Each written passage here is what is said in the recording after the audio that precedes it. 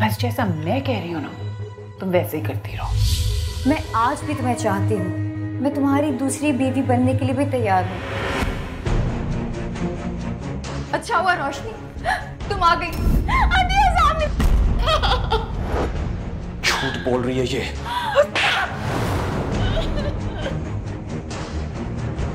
देखिए रोशनी पीर से जुमे की शाम सात बजे सिर्फ़ जियो पर।